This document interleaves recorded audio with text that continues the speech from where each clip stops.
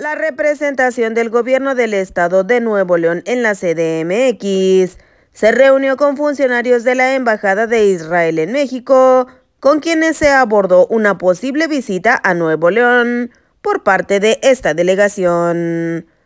En la Junta estuvieron presentes el agregado de Defensa y director del Ministerio de Defensa de Israel en México, Amir Shalom, y la coordinadora de proyectos Falena Siloa.